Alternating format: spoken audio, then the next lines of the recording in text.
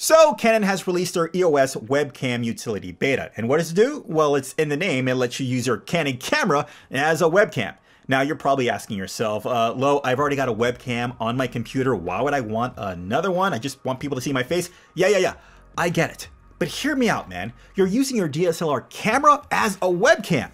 Now, what does that do? Well, here we go. Let's go through the list. Number one, you get far better, more far better, more picture quality from your DSLR camera. Number two, well, more settings, and especially with the white balance. Number three, you get to change out your lenses. Hello, long, wide, whatever, and zoom in and out. Zoom in and out, right? Uh, number four, hello, dual pixel autofocus. And number five, what was number five? Ah, yes, the Oh Sweet Bokeh. You know, that shallow depth of field, shallow depth of field, right? Who wouldn't want that? Online, Zoom meetings, whatever, shallow, you looking pretty. All right, but it is a beta, so not everything is all perfect. I'll get to those things at the end of the video, so stay tuned. Until then, let's get into it. All right, so the first thing you want to do, besides, of course, having a Canon camera, is going to the Canon website. Here's a link right here. I'll leave the link also in the description down below. But go ahead, you see there, you know, Canon, they're kind of doing their thing with the whole COVID-19 thing.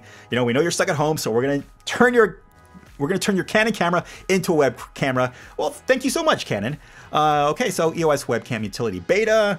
You have your download instructions, and then these are currently the cameras, your Canon cameras that you can use with the beta for now.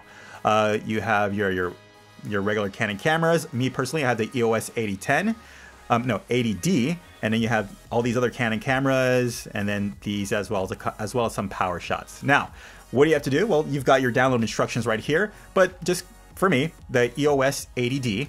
Click on there. It brings you to your product page. It automatically scrolls down. You see EOS Webcam Utility Beta 9 Windows. All right. Select, download, and it starts downloading at the bottom. It'll create a zip file. You can just open that up and install. All right, I already have it on my computer, but I don't have to do that. Now, once it's finished installing on your computer, you're going to want to restart computer. So Let's just do a little imagination uh, restart. Now while your computer is restarting or whatever, grab your camera and the USB cord for your camera, plug that cord into your camera, and from the camera straight to the USB port in your computer. Once your camera is plugged in, make sure your camera is set on video mode and turn it on. Once it's on, you'll hear that oh so familiar sound of hey, this is Windows and I just found something new. At this point, you can use your camera like you normally would, setting up your settings, your framing, your color white balance, whatever you want. Now for the first test, let's use a popular application like Zoom. So now we'll try our first setup within Zoom. So open up Zoom, uh, go to a new meeting. Zoom will start up and we'll go to our up arrow and we'll pick the EOS Webcam Utility Beta. We'll select that, we will start video, and after a little bit, our picture will show up. And there we go. There we go. All right, so this is what it looks like. I'm just I'm using the uh, my Canon 80D during Zoom, and now I can use my I can use my uh, my DSLR during my Zoom meetings. Like I said before, you got the nice little blurry background, the higher picture quality. Yeah, so pretty simple. Obviously, you know I've, I've got to adjust it right here, but you're getting a nice little good sample. All right, so let's try OBS for the next one.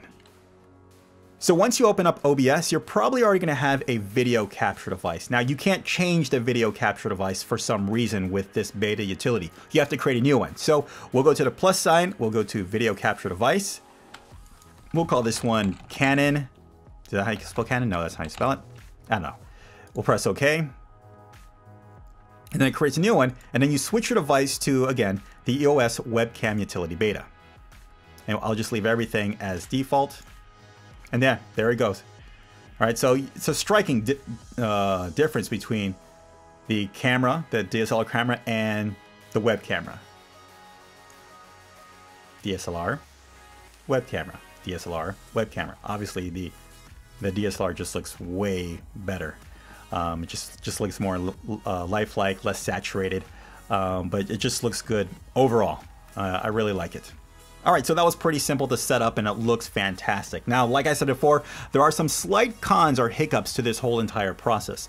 Number one, there's a slight, there's a bit of a slight audio sync problem when using the camera and going straight to this. It's not that big of a deal, but it's there. Most people won't recognize it, especially if you're doing like an online meeting. but it's there. If you're recording, you can uh, line it up later. All right, number two, you can't use the audio from the microphone. For some reason, you're just getting a picture. But don't worry about it, that'll probably be fixed in the future. Remember, this is a beta, so right now the priority is just to use it as a webcam and just get the video to our computer. Number three, well, it's a DSLR. It's not a small camera, it's a big camera. So you're probably gonna have to think in advance where you're gonna have to set this bad boy. Right now I have this on a monopod right next to my desk. It's pretty big. You might want to invest in a desktop tripod as well. I'll leave a link in the description down below for that. And just kind of figure out where you're gonna have this sitting. Remember, you just can't have this sitting on top of your monitor. Number four, the USB connection. This is the Canon 80D, so it's an older camera with an older USB connection. Good luck finding one of those older USB connections. Plus, it was a really short cord and I had to use a USB extender for that. I used a USB 3.0 extender to the 3.0 port on my computer and it worked just fine. I'll leave a link in the description down below for that as well in case you need an extender. And number five, well, the battery life. I don't know about you, but this Canon camera does not support power over USB in any way. Whatever battery's in there, that's how long my picture is gonna last, however the battery lasts. So keep that in mind. I probably could get some accessory where I can have like an internal battery that plugged to a wall, maybe, probably, but I don't want to. So just keep that in mind. Other than that, guys, I'm super excited for this beta. Using my DSLR camera as a web camera, yes, please, amazing video quality online in my Zoom meetings or whatever, yeah, I'll take it. All right, guys, if you found this very helpful or some found some value in it, go ahead, leave a comment and feed this guy here some likes. Until the next video, guys, learn, do, and share. I'll catch you in the next one. Bye.